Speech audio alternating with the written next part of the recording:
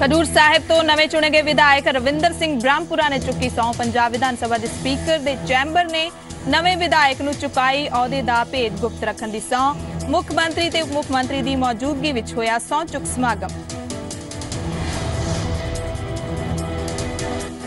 ਫਿਰੋਜ਼ਪੁਰ ਵਿੱਚ ਬੀਐਸਐਫ ਨੇ ਸਰਹੱਦ ਨੇੜਿਓਂ ਇੱਕ ਪਾਕਿਸਤਾਨੀ ਘੁਸਪੈਠੀਏ ਨੂੰ ਕੀਤਾ ਗ੍ਰਿਫਤਾਰ। ਪੁੱਛਗਿੱਛ ਵਿੱਚ ਹੋਇਆ ਖੁਲਾਸਾ। 7 ਸਾਲ ਤੱਕ ਪਾਕਿਸਤਾਨੀ ਫੌਜ ਵਿੱਚ ਕਰ ਚੁੱਕਿਆ ਹੈ ਨੌਕਰੀ। ਫਿਰੋਜ਼ਪੁਰ ਤੋਂ ਫੜੇ ਘੁਸਪੈਠੀਏ ਦੀ ਸਰਵਰ ਬੇਗ ਦੇ ਨਾਂ ਤੇ ਹੋਈ ਪਛਾਣ। ਸਰਵਰ ਪਾਕਿਸਤਾਨ ਦੇ ਕਸੂਰ ਦਾ ਨਿਵਾਸੀ ਦੇਰ ਰਾਤ ਬੀਐਸਐਫ ਨੇ ਸਰਵਰ ਦਾ ਕਰਵਾਇਆ ਸੀ ਮੈਡੀਕਲ ਟੈਸਟ। ਫਿਲਹਾਲ ਪੁੱਛਗਿੱਛ ਜਾਰੀ।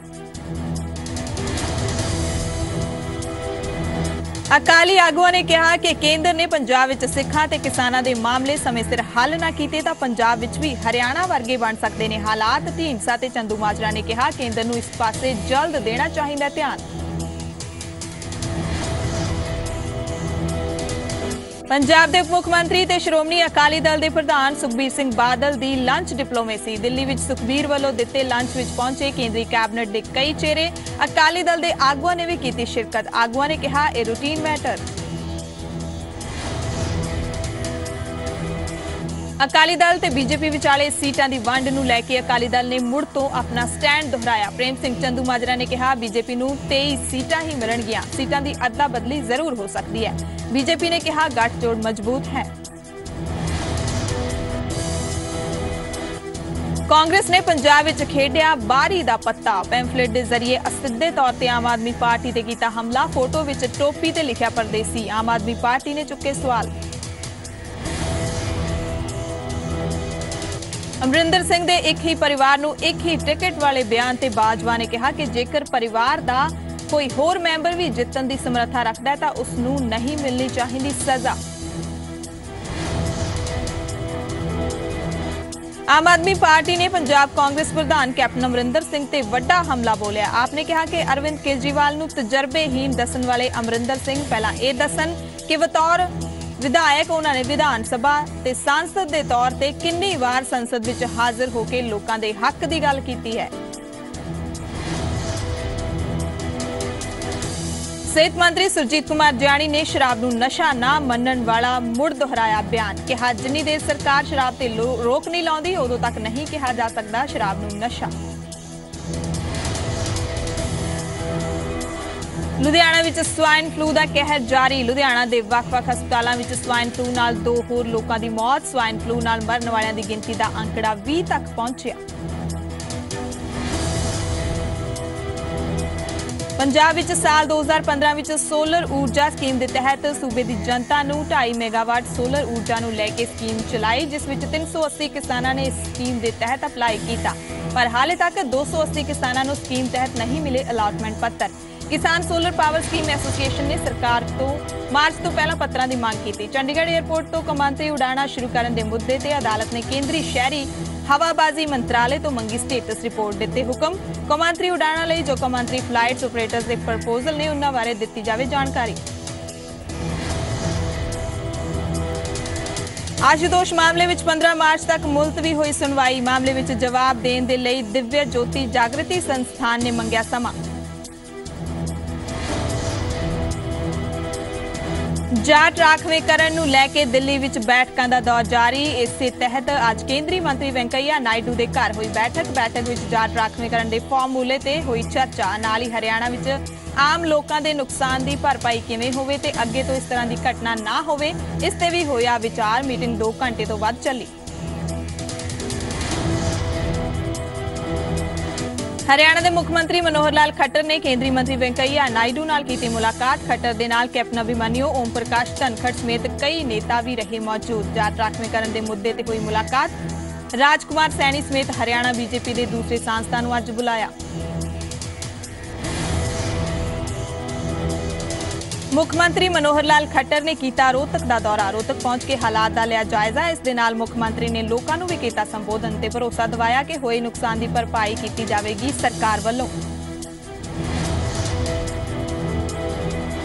ਮੁੱਖ ਮੰਤਰੀ ਮਨੋਹਰ ਲਾਲ ਖੱਟਰ ਨੇ ਕਿਹਾ ਕਿ ਨੁਕਸਾਨ ਦਾ ਮੁਲਾਂਕਣ ਹੋਣ ਤੇ 1 ਮਹੀਨੇ ਦੇ ਅੰਦਰ ਦਿੱਤਾ ਜਾਵੇਗਾ ਮੁਆਵਜ਼ਾ। ਡੀਸੀ ਦਫ਼ਤਰ 'ਚੋਂ ਮਿਲੇਗਾ ਮੁਆਵਜ਼ੇ ਦਾ ਦਾਅਵਾ ਕਰਨ ਵਾਲਾ ਪਰਫਾਰਮਾ। ਆਨਲਾਈਨ ਵੀ ਉਪਲਬਧ ਕਰਵਾਇਆ ਜਾਵੇਗਾ। ਰੋਹਤਕ ਪਹੁੰਚੇ ਮੁੱਖ ਮੰਤਰੀ ਮਨੋਹਰ ਲਾਲ ਖੱਟਰ ਨੇ ਕਿਹਾ ਕਿ ਦੰਗਾ ਭੜਕਾਉਣ ਵਾਲੇ ਲੋਕਾਂ ਦੇ ਖਿਲਾਫ ਵੀ ਹੋਵੇਗੀ ਕਾਰਵਾਈ ਤੇ ਪੂਰੇ ਅੰਦੋਲਨ ਦੌਰਾਨ ਲਾਪਰਵਾਹੀ ਵਰਤਣ ਵਾਲੇ ਪੁਲਿਸ ਮੁਲਾਜ਼ਮਾਂ ਨੂੰ ਵੀ ਨਹੀਂ ਬਖਸ਼ਿਆ ਜਾਵੇਗਾ। ਪੰਜਾਬ ਹਰਿਆਣਾ ਹਾਈ ਕੋਰਟ ਨੇ ਹਰਿਆਣਾ ਸਰਕਾਰ ਤੋਂ ਜਾਟ ਅੰਦੋਲਨ ਦੇ ਦੌਰਾਨ ਸੂਬੇ ਵਿੱਚ ਹੋਏ ਨੁਕਸਾਨ ਦੀ ਰਿਪੋਰਟ ਦੇਣ ਦੇ ਦਿੱਤੇ ਆਦੇਸ਼। ਹਾਈ ਕੋਰਟ ਨੇ ਸਰਕਾਰ ਤੋਂ ਪੁੱਛਿਆ ਕਿ ਹੁਣ ਤੱਕ ਕੀ ਕੁਝ ਹੋਇਆ। ਸਰਕਾਰ, ਸਿਆਸੀ ਪਾਰਟੀਆਂ ਤੇ ਲੋਕਾਂ ਨੂੰ ਹਾਈ ਕੋਰਟ ਨੇ ਸ਼ਾਂਤੀ ਬਣਾਏ ਰੱਖਣ ਦੀ ਵੀ ਕੀਤੀ ਅਪੀਲ। ਹਰਿਆਣਾ ਦੇ ਰਾਜ ਮੰਤਰੀ ਕ੍ਰਿਸ਼ਨ ਬੇਦੀ ਨੇ ਸੂਬੇ ਦੇ ਸਾਬਕਾ ਮੁੱਖ ਮੰਤਰੀ ਭੁਪਿੰਦਰ ਸਿੰਘ ਹੁੱਡਾ ਤੇ ਹਿੰਸਾ ਭੜਕਾਉਣ ਦਾ ਲਾਇਆ ਇਲਜ਼ਾਮ। ਉਹਨਾਂ ਕਿਹਾ ਕਿ ਸਰਕਾਰ ਅਜਿਹੇ ਲੋਕਾਂ ਨੂੰ ਬੇਨਕਾਬ ਕਰੇਗੀ ਤੇ ਸਖਤ ਤੋਂ ਸਖਤ ਕਾਰਵਾਈ ਕੀਤੀ ਜਾਵੇਗੀ। ਹਿਮਾਚਲ ਪ੍ਰਦੇਸ਼ ਦੇ ਹਸਪਤਾਲਾਂ ਵਿੱਚ ਆਕਸੀਜਨ ਦੀ ਸਪਲਾਈ ਵਿੱਚ ਘਪਲੇ ਦਾ ਮਾਮਲਾ ਆਇਆ ਸਾਹਮਣੇ। ਹਿਮਾਚਲ ਬੀਜੇਪੀ ਨੇ ਹਸਪਤਾਲਾਂ ਵਿੱਚ ਆਕਸੀਜਨ, ਗੈਸ ਸਿਲੰਡਰ ਦੀ ਸਪਲਾਈ ਤੇ ਖਰੀਦ ਦੇ ਖੜੇ ਕੀਤੇ ਸਵਾਲ, ਪਿਛਲੇ 15 ਸਾਲਾਂ ਤੋਂ ਇੱਕ ਹੀ ਫਰਮ ਤੋਂ ਆਕਸੀਜਨ ਸਿਲੰਡਰ ਖਰੀਦਣ ਦਾ ਇਲਜ਼ਾਮ। ਵਿਰੋਧੀ ਧਿਰ ਨੇ ਵੀ ਮਾਮਲੇ ਵਿੱਚ ਸੀਬੀਆਈ ਜਾਂਚ ਦੀ ਕੀਤੀ ਮੰਗ। ਮੁਸਾਫਰਾਂ ਲਈ ਰਾਹਤ ਭਰੀ ਖਬਰ। ਚੰਡੀਗੜ੍ਹ ਤੋਂ ਦਿੱਲੀ ਲਈ ਇੱਕ ਨਵੀਂ ਟ੍ਰੇਨ ਕੀਤੀ ਗਈ ਹੈ ਚਾਲੂ, ਜੋ ਕਿ ਸਹਾਰਨਪੁਰ ਹੁੰਦੇ ਹੋਏ ਪਹੁੰਚੇਗੀ ਦਿੱਲੀ। ਸੂਬੇ ਵਿੱਚ ਜਾਟ ਅੰਦੋਲਨ ਦੇ ਚੱਲਦਿਆਂ ਲੋਕਾਂ ਨੂੰ ਭਾਰੀ ਪਰੇਸ਼ਾਨੀਆਂ ਦਾ ਸਾਹਮਣਾ ਕਰਨਾ ਪੈ ਰਿਹਾ ਹੈ। ਕਈ ਵਿਆਹ ਹੋਏ ਮੁਲਤਵੀ, ਉੱਥੇ ਰੇਵਾੜੀ ਵਿੱਚ ਇੱਕ ਦੁਲਹਾ ਆਪਣੀ ਦੁਲਹਨ ਨੂੰ ਚੌਪਰ ਵਿੱਚ ਲੈ ਕੇ ਆਇਆ। ਬਹੂ ਦੇ ਘਰ ਪਰਤਨ ਤੇ ਘਰ ਆਉਣ ਤੇ ਪਰਿਵਾਰ ਖੁਸ਼ ਹੈ, ਪਰ ਇਸ ਵਿਆਹ ਵਿੱਚ ਉਹਨਾਂ ਦੇ ਰਿਸ਼ਤੇਦਾਰ ਤੇ ਦੋਸਤ ਨਹੀਂ ਹੋ ਸਕੇ ਸ਼ਾਮਿਲ।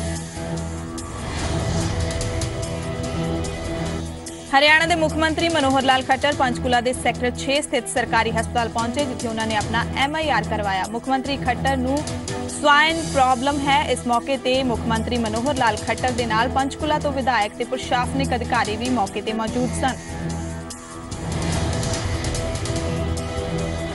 ਪੀਲੀਆ ਤੇ ਕਾਬੂ ਪਾਉਣ ਲਈ ਸ਼ਿਮਲਾ ਵਿੱਚ ਹਾਈ ਪਾਵਰ ਕਮੇਟੀ ਦੀ ਬੈਠਕ, ਸਿਹਤ ਵਿਭਾਗ ਦੇ ਅਧਿਕਾਰੀਆਂ ਨਾਲ ਨਾਲ ਨਗਰ ਨਿਗਮ ਦੇ ਅਧਿਕਾਰੀ ਵੀ ਰਹੇ ਮੌਜੂਦ। ਮੀਟਿੰਗ ਵਿੱਚ ਪੀਲੀਆ ਤੇ ਕਾਬੂ ਪਾਉਣ ਨੂੰ ਲੈ ਕੇ ਵਿਸਥਾਰ ਨਾਲ ਹੋਈ ਚਰਚਾ, ਨਾਲ ਹੀ ਹੋਇਆ ਹੰਗਾਮਾ।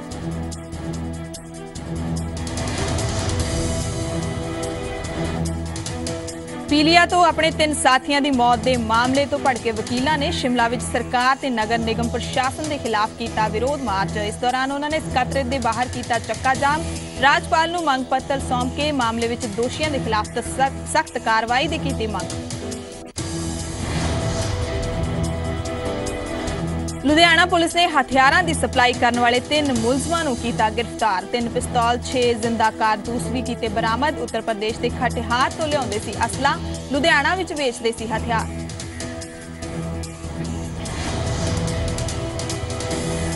ਲੁਧਿਆਣਾ ਪੁਲਿਸ ਨੇ ਸ਼ਰਾਬ ਤਸਕਰ ਨੂੰ ਕੀਤਾ ਗ੍ਰਿਫਤਾਰ। ਭਾਰੀ ਮਾਤਰਾ ਵਿੱਚ ਸ਼ਰਾਬ ਵੀ ਕੀਤੀ ਬਰਾਮਦ। ਤਸਕਰ ਤੇ ਨਕਲੀ ਸ਼ਰਾਬ ਸਸਤੇ ਭਾਅ ਤੇ ਵੇਚਣ ਦਾ ਇਲਜ਼ਾਮ। ਪੰਜਾਬ ਦੇ ਕਈ ਸ਼ਹਿਰਾਂ ਵਿੱਚ ਵੇਚਦਾ ਸੀ ਸ਼ਰਾਬ। ਅੰਬਾਲਾ ਕੈਂਟ ਦੇ ਸਦਰ ਬਾਜ਼ਾਰ ਦੀਆਂ ਚਾਰ ਦੁਕਾਨਾਂ ਵਿੱਚ ਚੋਰੀ। ਚੋਰ ਦੁਕਾਨਾਂ ਤੋਂ ਲੱਖਾਂ ਦਾ ਕੀਮਤੀ ਸਮਾਨ ਤੇ ਨਕਦੀ ਲੈ ਕੇ ਹੋਏ ਫਰਾਰ।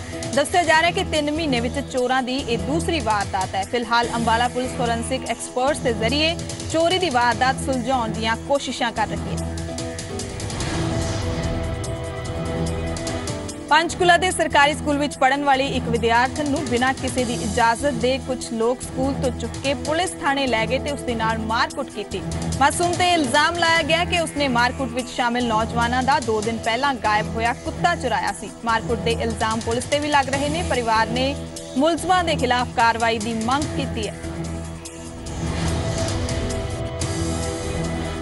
ਰੋਹਿਤ ਵੇਮੁਲਾ ਤੇ ਜੇਐਨਯੂ ਮਸਲੇ ਤੇ ਰਾਜ ਸਭਾ ਵਿੱਚ ਹੰਗਾਮਾ, ਮਾਇਆਵਤੀ ਨੇ ਫੌਰਨ ਚਰਚਾ ਦੀ ਕੀਤੀ ਮੰਗ, ਡਿਪਟੀ ਸਪੀਕਰ ਤਿਆਰ ਨਾਰੇਬਾਜ਼ੀ ਵੀ ਹੋਈ।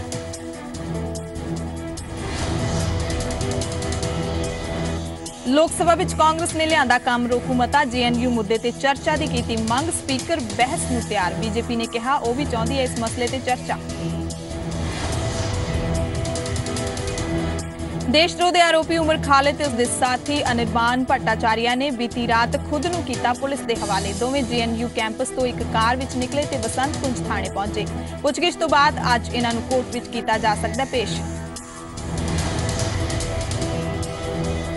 ਜੇਐਨਯੂ ਤੇ ਰੋਹਿਤ ਵੇਮੁਲਾ ਦੇ ਮੁੱਦੇ ਤੇ ਅੱਜ ਰਾਜ ਸਭਾ ਵਿੱਚ ਹੋਏਗੀ ਚਰਚਾ, ਵਿਰੋਧੀ ਧਿਰ ਦੇ ਤੇਵਰ ਤਿੱਖੇ ਨੇ ਤਾਂ ਉੱਥੇ ਸਰਕਾਰ ਨੇ ਵੀ ਹਮਲਿਆਂ ਦਾ ਜਵਾਬ ਦੇਣ ਲਈ ਹਮਲਾਵਰ ਰੁਖ ਅਪਣਾਇਆ।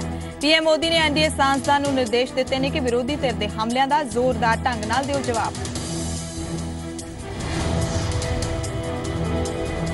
ਜੇਐਨਯੂ ਵਿੱਚ ਦੇਸ਼ਦਰੋਹ ਤੇ ਬੈਂਗਲੁਰੂ ਦੇ ਰੋਹਿਤ ਵੇਮੁਲਾ ਦੀ ਖੁਦਕੁਸ਼ੀ ਦਾ ਮੁੱਦਾ ਦਿੱਲੀ ਦੀਆਂ ਸੜਕਾਂ ਤੇ ਵੀ ਗੂੰਜਿਆ। ਮੰਗਲਵਾਰ ਨੂੰ ਦਿੱਲੀ ਵਿੱਚ ਜੰਤਰ ਮੰਤਰ ਤੇ ਕੱਢੇ ਗਏ ਮਾਰਚ ਵਿੱਚ ਕਾਂਗਰਸ ਦੇ ਰਾਹੁਲ ਗਾਂਧੀ ਤੇ ਆਮ ਦੇ ਅਰਵਿੰਦ ਕੇਜਰੀਵਾਲ ਵੀ ਪਹੁੰਚੇ। ਦੋਵੇਂ ਨੇਤਾਵਾਂ ਨੇ ਕੇਂਦਰ ਸਰਕਾਰ ਤੇ ਤਿੱਖੇ ਹਮਲੇ ਕੀਤੇ। ਗ੍ਰਹਿ ਮੰਤਰੀ ਰਾਜਨਾਥ ਸਿੰਘ ਨੇ ਰਾਖਵੇਂਕਰਨ ਅੰਦੋਲਨ ਤੋਂ ਬਾਅਦ ਹਰਿਆਣਾ ਦੇ ਹਾਲਾਤ ਤੇ ਜੇਐਨਯੂ ਮੁੱਦੇ ਤੇ ਪ੍ਰਧਾਨ ਮੰਤਰੀ ਨੂੰ ਦਿੱਤੀ ਜਾਣਕਾਰੀ। 20 ਮਿੰਟ ਦੀ ਮੁਲਾਕਾਤ ਵਿੱਚ ਰਾਖਵਾਂਕਰਨ ਅੰਦੋਲਨ ਨਾਲ ਹੋਏ ਨੁਕਸਾਨ, ਰੋਹਤਕ ਵਿੱਚ ਸੈਨਾ ਦੀ ਤੈਨਾਤੀ ਤੇ ਹਿੰਸਾ ਕਾਰਨ ਦਿੱਲੀ ਵਿੱਚ ਖੜੇ ਹੋਏ ਪਾਣੀ ਦੇ ਸੰਕਟ ਤੇ ਕੀਤੀ ਗੱਲਬਾਤ। ਸੁਪਰੀਮ ਕੋਰਟ ਦੇ ਸਾਬਕਾ chief justice H L Dutt ਰਾਸ਼ਟਰੀ ਮਾਨਵ ਅਧਿਕਾਰ ਆਯੋਗ ਦੇ ਅਗਲੇ ਪ੍ਰਧਾਨ ਹੋਣਗੇ। ਪ੍ਰਧਾਨ ਮੰਤਰੀ ਨਰਿੰਦਰ ਮੋਦੀ ਦੀ ਪ੍ਰਧਾਨਗੀ ਵਾਲੀ ਕਮੇਟੀ ਨੇ ਦੱਤੂ ਦੇ ਨਾਮ ਨੂੰ ਦਿੱਤੀ ਮਨਜ਼ੂਰੀ। ਐਨਐਚਆਰਸੀ ਚੀਫ ਦਾ ਪਦ 8 ਮਹੀਨੇ ਪਹਿਲਾਂ ਕੇਜੀ ਬਾਲਾ ਕ੍ਰਿਸ਼ਨ ਦੇ ਰਿਟਾਇਰ ਹੋਣ ਤੋਂ ਬਾਅਦ ਹੋਇਆ ਸੀ ਖਾਲੀ। ਕੇਂਦਰੀ ਦੂਰਸੰਚਾਰ ਤੇ ਆਈਟੀ ਮੰਤਰੀ ਰਵਿਸ਼ੰਕਰ ਪ੍ਰਸਾਦ ਨੇ ਕਿਹਾ ਕਿ ਟਵਿੱਟਰ ਤੇ ਹੋਰ ਸੋਸ਼ਲ ਮੀਡੀਆ ਪਲੇਟਫਾਰਮ ਇਹ ਸੁਨਿਸ਼ਚਿਤ ਕਰਨ ਕਿ ਲੋਕ ਦਹਿਸ਼ਤਵਾਦ ਨੂੰ ਬੜਾਵਾ ਦੇਣ ਦੇ ਲਈ ਉਹਨਾਂ ਦਾ ਦੁਰਉਪਯੋਗ ਨਾ ਕਰਨ। ਕੇਂਦਰੀ ਮੰਤਰੀ ਨੇ ਕਿਹਾ ਕਿ ਅਸੀਂ ਹਰ ਵਿਅਕਤੀ ਦੀ ਆਜ਼ਾਦੀ ਦਾ ਸਨਮਾਨ ਕਰਦੇ ਹਾਂ, ਪਰ ਇਹ ਵੀ ਧਿਆਨ ਰੱਖਣਾ ਹੋਵੇਗਾ ਕਿ ਭਾਰਤ ਦਹਿਸ਼ਤਗਰਦ ਦੇ ਛੋਟੇ ਹੱਬ ਨਾਲ ਘਿਰਿਆ ਹੋਇਆ ਹੈ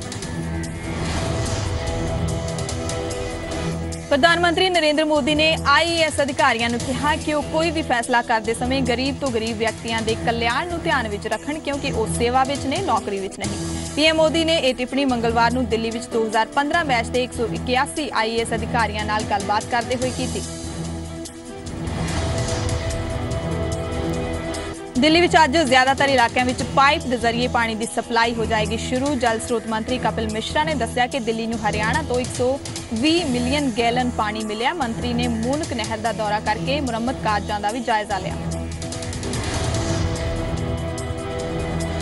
ਮਹਿਲਾ ਹੈਲਪਲਾਈਨ ਨੰਬਰ 181 ਨੂੰ ਅਸਰਦਾਰ ਦੱਸਣ ਦੇ ਲਈ ਦਿੱਲੀ ਮਹਿਲਾ ਕਮਿਸ਼ਨ ਨੇ ਇਸ ਨੂੰ ਮਹਿਲਾ ਪੰਚਾਇਤ ਤੇ ਮੋਬਾਈਲ ਹੈਲਪਲਾਈਨ ਪ੍ਰੋਗਰਾਮਾਂ ਦੇ ਨਾਲ ਜੋੜਨ ਦਾ ਫੈਸਲਾ ਕੀਤਾ ਹੈ। ਡੀਸੀਡਬਲਯੂਏ ਪ੍ਰਧਾਨ ਸਵਾਤੀ ਮਾਲੀਵਾਲ ਨੇ ਦੱਸਿਆ ਕਿ ਹਰ ਵਿਧਾਨ ਸਭਾ ਵਿੱਚ ਘੱਟ ਤੋਂ ਘੱਟ ਇੱਕ ਮਹਿਲਾ ਪੰਚਾਇਤ ਦਾ ਗਠਨ ਕੀਤਾ ਜਾਵੇਗਾ। ਹਰ ਪੰਚਾਇਤ ਵਿੱਚ 2 ਤੋਂ 3 ਕਾਉਂਸਲਰ ਹੋਣਗੀਆਂ।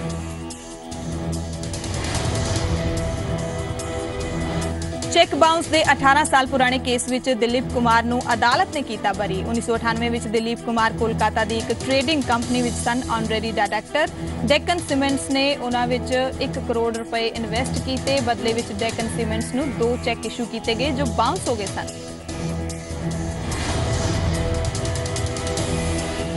ਅੱਜ ਤੋਂ ਏਸ਼ੀਆ ਕੱਪ ਦਾ ਆਗਾਜ਼। ਅੱਜ ਪਹਿਲਾ ਮੁਕਾਬਲਾ ਭਾਰਤ ਦਾ ਬੰਗਲਾਦੇਸ਼ ਦੇ ਨਾਲ।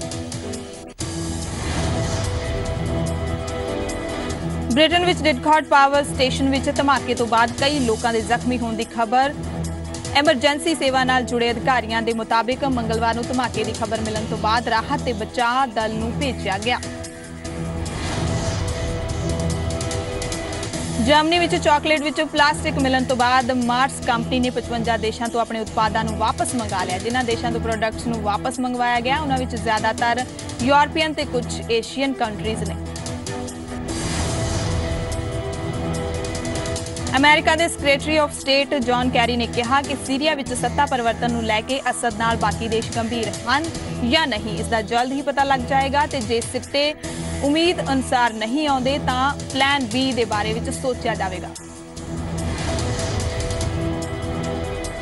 ਮੀਡੀਆ ਵਿੱਚ ਅਮਰੀਕਾ ਵੱਲੋਂ ਇਟਲੀ ਦੇ ਸਾਬਕਾ ਪ੍ਰਧਾਨ ਮੰਤਰੀ ਸਿਲਵੀਓ ਬਾਰਲਿਓਸਕੋਨੀ ਦੀ ਜਾਸੂਸੀ ਦੀ ਖਬਰ ਆਉਣ ਤੋਂ ਬਾਅਦ ਇਟਲੀ ਦੇ ਵਿਦੇਸ਼ ਮੰਤਰਾਲੇ ਨੇ ਅਮਰੀਕਾ ਦੇ ਰਾਜਦੂਤ ਨੂੰ ਤਲਬ ਕੀਤਾ ਖਬਰ ਆਈ ਸੀ ਕਿ ਅਮਰੀਕਾ ਨੇ ਸਿਲਵੀਓ ਦੇ ਫੋਨ ਟੈਪ ਕੀਤੇ ਸਨ। ਆਦਿਤਿਆ ਚੋਪੜਾ ਦੀ ਫਿਲਮ ਬੇਫਿਕਰੇ ਦੀ ਸ਼ੂਟਿੰਗ ਪੈਰਿਸ ਵਿੱਚ ਸ਼ੁਰੂ ਹੋਵੇਗੀ, ਜਿਸ ਦੇ ਲਈ ਐਕਟਰ ਰਣਵੀਰ ਸਿੰਘ ਪੈਰਿਸ ਪਹੁੰਚ ਗਏ ਨੇ। ਫਿਲਮ ਵਿੱਚ ਰਣਵੀਰ ਦੇ ਨਾਲ ਪਹਿਲੀ ਵਾਰ ਬਾਣੀ ਕਪੂਰ ਨਜ਼ਰ ਆਏਗੀ। ਕਰੀਨਾ ਕਪੂਰ ਖਾਨ ਨੇ ਕਟਰੀਨਾ ਤੇ ਰਣਬੀਰ ਕਪੂਰ ਦੇ ਬ੍ਰੇਕਅਪ ਤੇ ਕੁਝ ਵੀ ਬੋਲਣ ਤੋਂ ਕੀਤਾ ਇਨਕਾਰ। ਕਰੀਨਾ ਨੇ ਕਿਹਾ ਕਿ ਰਣਬੀਰ ਦਾ ਪਰਸਨਲ ਮੈਟਰ ਹੈ ਤੇ ਉਹ ਇਸ ਮਾਮਲੇ ਵਿੱਚ ਕੁਝ ਵੀ ਨਹੀਂ ਕਹਿਣਾ ਚਾਹੁੰਦੀ। ਐਕਟਰਸ ਅਨੁਸ਼ਕਾ ਸ਼ਰਮਾ ਨੇ ਆਪਣੀ ਅਗਲੀ ਫਿਲਮ ਅਨਾਉਂਸ ਕਰ ਦਿੱਤੀ ਹੈ। ਅਨੁਸ਼ਕਾ ਦੀ ਅਗਲੀ ਫਿਲਮ ਦਾ ਨਾਮ ਹੈ ਫਿਲੌਰੀ ਜਿਸ ਨੂੰ director Anand L Rai direct ਕਰਨਗੇ। ਅਨੁਸ਼ਕਾ ਇਸ ਵਕਤ ਫਿਲਮ ਸੁਲਤਾਨ ਦੀ ਸ਼ੂਟਿੰਗ ਵਿੱਚ ਬਿਜ਼ੀ ਹੈ।